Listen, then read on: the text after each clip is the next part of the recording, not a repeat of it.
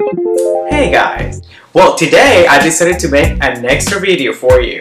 One week of Miss Universe has already passed and after a very slow process, we finally could see the official pictures of the delegates. And I felt that I had to make this video because all I have to say about those pictures is like WTF. Seriously, what happened to these pictures? I hate referring to them this way, but first, the process took longer than usual. And second, I can't see any concept on those portraits. They go from body painting, posing by the pool, against some wall, some are in color, some in black and white, and topless? What happened with that? After all the buzz about the topless pictures, just a couple of them were actually topless like Trinidad and Tobago, Japan, and USA. And not to mention that we barely see some of the girls in those shots. Overall, I'm just not impressed by these glam shots, but I'm glad they're up.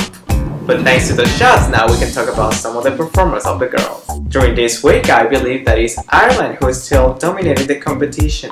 I think her image impacts on every single shot she's in. And uh, as of today, I don't think she has any competition or anybody that close to her. But there are also girls who were improving this week, and some of them caught my eye. One of them is Miss Peru. I think she's very sassy, sexy, and very photogenic. Think she also has a great potential to make it to the semifinalists. Miss Colombia also has stayed very strong from the beginning. She's a very simple beauty, but also very attractive. There's something interesting about her. Also, Miss Haiti, Miss Dominican Republic, and Miss Greece are three other ones that brought attention to me this week.